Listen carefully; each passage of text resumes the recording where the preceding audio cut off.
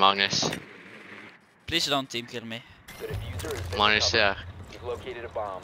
Make your way to its location and defuse Se. Uh. Odin nå. Det der er en dritende skin. Please don't team kill me, guys. Hva faen? Hvorfor? Jeg skulle skyte og skulle reloade, sant? Og så akkurat da du